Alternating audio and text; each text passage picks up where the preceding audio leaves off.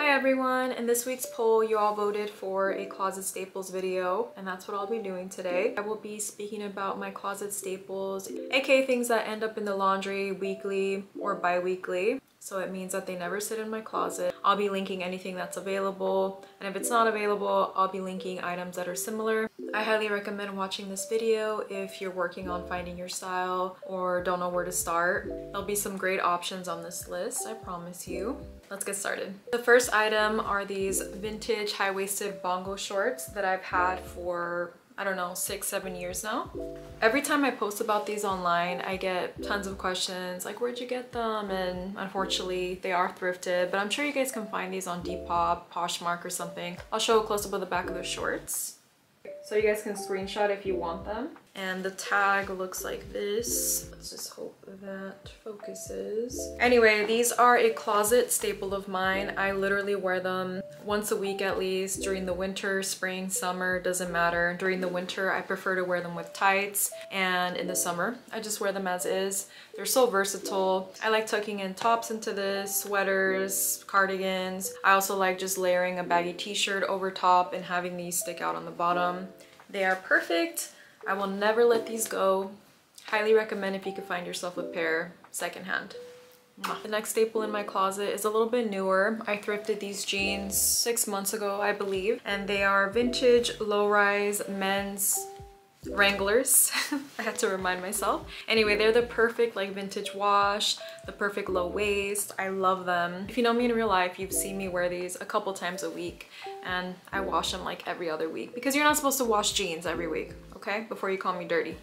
I wear them with a belt because they are pretty baggy and can fall off my waist and expose my booty and I don't want that. I'll show references of how I like to wear them. I'll do a little show and tell for you guys if you're curious. I'm not standing up because I don't want you to see the bottom half of me. so glad I found them. These are the pants that started it all for me. What I mean by that is that they restarted my love for mid-rise and low-rise style pants and oh my god, I will never go back. These are so comfortable. My favorite way of wearing these is with baby tees, oversized sweaters, really with anything. If you follow me on my socials, you probably could have guessed this next item because you've seen it a million times. You're probably sick of these.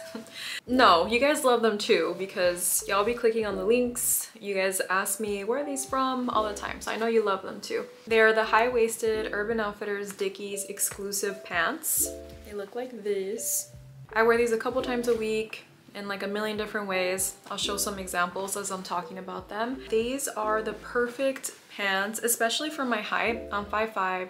They hit me at the perfect spot on my ankle. They're super comfy, kind of like that relaxed, baggy sort of look. They also work really great for work. They're like that great mix between casual but still kind of like business casually like you can get away with them for work. Please don't be mad but these have been out of stock on urban for a couple weeks now but i'll be linking something similar and hopefully that helps. But anyway i also love the color. I think it definitely adds a little bit more interest to an outfit. I compare them with like a band tee or whatever and usually if i wore it with like plain black pants it could look a little bit just like basic or nothing special you know what i mean? But like the pop of brown really does it for me it's like the perfect chocolate color. If you can get your hands on these pants, highly recommend. The next item on my list are these cargo pants from Garage. Garage is like a store at the mall. I'm honestly shocked I found these at the mall. I went to the mall with my sister months and months back, maybe like a year ago or two. I despise the mall, so it must have been for something specific. But I saw these and I was like, ooh, let me try them on. Best decision of my life. They're just perfect. They're high-waisted, I want a low-waisted pair, but these are still pretty sick. The length is perfect. I like these little loops here that it has. Oh, it only has one loop. I like that it has a million pockets the color, the fit, everything. I wear these a ton to work with my Jadon Doc Martens. I like to put a hoodie over these, t-shirts, more crop shirts. Honestly, I'm very surprised at the amount of wear that I get out of these. Happy, obviously. My next closet staple are these black high-waisted vintage trousers. I like the little pleats they have in the front. Tag looks like this. You want to look for them on Depop or something. Not much to say about these except that they're extremely versatile. I wear them to work a bunch. I'm pretty sure I've worn them to interviews before. Also just casually as well. I just love the wide leg. They're perfect. I found a perfect dupe for them, which are the Uniqlo high-waisted trousers. I have them in green because I didn't want to go with black since I already had those. I didn't want two of the same thing. These are like almost the exact same fit. A little bit baggier at the bottom, but I really like that look, so it doesn't matter. I've been wearing these a ton as well. If you want something similar, Uniqlo ones are it. I'm pretty sure they have them in black, in green, khaki, I believe. If you're trying to build your wardrobe, you really need a pair of trousers. I feel like they're essential. We're gonna switch it up and just talk about two tops because I don't wanna bore you with all the bottoms. Anyway, this white button down top, thrifted. I can't even begin to talk about how much I wear this. It is Old Navy and it's a size extra small, which I'm surprised about because I'm usually a medium, so I don't know if it's like an oversized cut or something. Wow, I didn't button that right. wear this a ton. I like to layer it undershirts, just wear it as an over top. I like to have the collar just peeking out of a sweater. That looks really good. This is like the easiest thing to thrift too. So highly recommend if you don't own one of these already, run to the thrift store. Next is this Adicts tee literally wear this once a week, twice a week at least. Part of me sometimes regrets cutting it. I did kind of like a sort of shape. I would definitely say that this is number one in my band tee rotation. It just works. It looks good with everything. I like wearing it on top of dresses. I like wearing with an open button down, a button down underneath. But yeah, I don't know. It's just perfect. I like the graphic. I love the fact that I thrifted this at Goodwill like seven years ago now. I wish I could wear it to work, but the graphic is a little too scary. I work with children. I don't want them having nightmares or telling their parents, my therapist was wearing a really scary t-shirt. I don't think that's ethical. The next items are all black skirts and you may ask yourself, is those are all the same skirts? And I'll argue with you, no. They all have subtle differences and serve different purposes. Starting off with this midi black vintage skirt. Look at this stretchy material. It is the best, especially for bloating or if your weight fluctuates. Thrifted this about six months ago. It's become a staple for me. It's from the brand Loft. Love this skirt because it could be worn high-waisted and low-waisted. I like that it works for work as well, especially when it starts to warm up because I certainly cannot be wearing any of these other skirts to work. They're way too short. I like to wear these with the baggy tee. I like to wear them low-waisted with the baby tee. The possibilities are endless. I would argue that this is another item that should be in everyone's closet. The next skirt is this pleated vintage skirt. Skirt, actually. It's shorts. Can't even begin to count how many times I've worn this since I've thrifted it years and years ago. Brand is Blonde, which very odd. I've never heard of this brand before, but here you go. You Might find it secondhand if you're interested. Perfect fit. Although I will say I want a version of this low-waisted for sure. I just want to be able to have the option and I definitely can't wear this low-waisted. My hips are too wide, it's too tight. So sad. I wish I could. I wear this to death in the summer. I just think it adds such a cute touch to an outfit. The pleats, it kind of balances out my style because sometimes it could be a little masculine. So when I add this, it adds that perfect balance of masculine and feminine that I prefer to have in my outfits. Never getting rid of this one. The next skirt is from Old Navy and you can actually get your hands on this one. I would say it's a dupe for the Girlfriend Collective skirt, but a lot more flattering. My sister bought me the one from Girlfriend Collective and I did not like the way that it made my body look. It bunched up weird around my tummy area. I just didn't feel good in it. What I love about it is the shorts underneath. I feel secure wearing it. The only thing I will say to keep in mind, it is more of like a casual athletic sort of material. I love to wear this in the summer and also in the fall and winter with tights. Highly recommend. Are you tired of the skirts yet? Hopefully not. Hopefully y'all could tell that there's a slight difference to all of these. The next skirt is an actual skirt and not a skirt, so no shorts here. This one is from H&M. It was literally $12, I think. I think it's out of stock now. Sorry, but you might be able to find it online. I just love the A-line fit. I think it's super flattering on my body type. I've worn this a million times. It's the perfect black mini skirt. The final black mini skirt in my rotation is this one from Garage. I guess I like Garage, huh? I'll link it if it's still available. What makes this one different is that it's actually low-waisted and it has kind of like a V in the front that is super flattering. It's also a skirt and it has a little slit right here in the front. Yes, it is pretty short, but also there's shorts underneath so I don't feel too like exposed wearing it.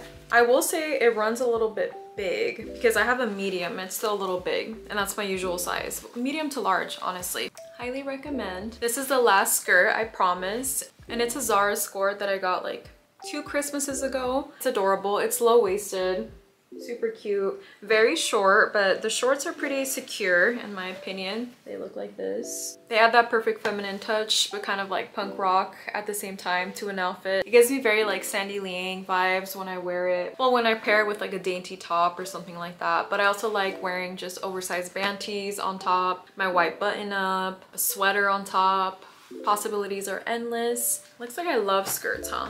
It's so funny because when I was younger, I was very insecure about wearing short skirts. Guess getting older does equal confidence, which is great. Oh, I also got a bunch of leg tattoos and that made me like my legs more. So if you're insecure about that, maybe get some leg tattoos. Now moving on to outerwear, my most worn jacket is this thrifted Dickies Eisenhower jacket. I have some pins on it, patch that my sister made me, which I need to sew on. I don't like how it looks with just the pins, but I was lazy and in a hurry. This might be a little boys. I don't know, because it's a size large and that does not look like a large to me. I know it's in navy too, and I've recently talked about how I'm trying to steer away from navy, but this is the exception. I love this jacket so much. It's like the perfect crop the perfect baggy. It gives such a cute edge to an outfit. I'll put some examples of how I like to wear it. I'm pretty sure Dickies has a ton of these in different colors. Oh my god, I'm pretty sure they have this in a brown. That's going on my wish list. I'm definitely gonna cop a brown one. The next item is a newer addition to my closet, and that's this Urban Outfitters men's hoodie. Looks like this. I love that it's like a faded black. It looks lived in. Super flattering, cozy, comfy. I wear this daily at home. I wear it a ton out of the house. I got mine in a size small because it's men's, so it kind of fits like a medium. Oh, I also have this in a brown, but I'm showing this one because it's the one that I wear the most. Everyone should have at least two cozy hoodies, which brings me to my next one, which is this gray hoodie that I've had oh my god probably for like 10 years. I don't even know. I think i like stole it from my mom or something. I don't even know the brand. I haven't looked at the tag in like a million years. Oh it's reebok.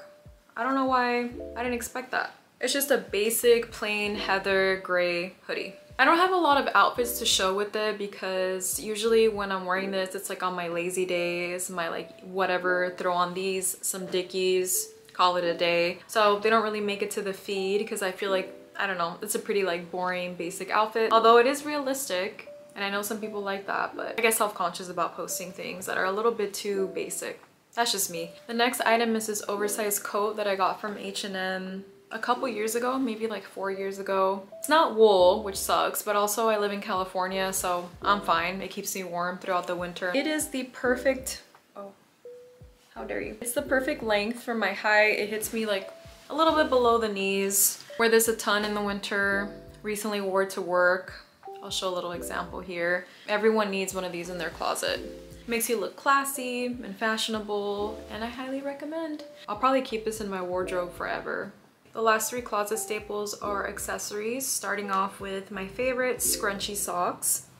I apologize if they're a little dirty. I need to bleach them. They are clean, I promise. They are from Hue. I'll link these down below. If you've been looking for socks with the perfect amount of scrunch, highly recommend these. Again, wear these a couple times a week. Love them with sheer tights. Such a perfect combo, which brings me to my next staple. These tights are the perfect amount of sheer I get mine from Amazon, super comfy. Honestly, they don't really get tears or rips. Like I wear them so many times, I've never had a problem. So I don't really feel the need to buy very expensive tights because these just work for me. I just get them in a size large so that they're comfortable. I cannot stand when tights dig into my hips. It's the worst. These don't do that. They're super high-waisted. I just adore when my tattoos peek out of the tights. I think it's such a cute look. So, oh, there it is. I don't know why I'm doing this. Last thing on my list are a bunch of pins. Here's my little pin holder and I'm pretty sure it was the top of like a cazuela. I can't think of the word in English right now. These are a closet staple for me. Reason being is that they add a little personality to my outfits, especially for work. When I'm feeling a little boring, I just pop on a little button and it makes me happy. I'll link my favorite button makers or pin makers down below. I get mine from Etsy or shows. I get them gifted. I'm pretty sure these two are from the same seller. Like how sick are these? I love how big they are. Recently I got this Snoopy one, listening to music. Literally he's me. A lot of them are also on jackets, cardigans right now, so it's not my full collection. But my most recent favorite pin is this one that my sibling got me from eBay for Christmas. Hello? Yes, I'll wrap this up, I promise. The attitude on people, I swear. All right, everyone, that's all I have for you guys today. I hope that you found it helpful or entertaining, at least. Ooh, let me know your closet staples. I am extremely curious. As always, thank you for watching. Subscribe if you like this video and you want to keep seeing more of my content. I hope you guys have a lovely week. Bye.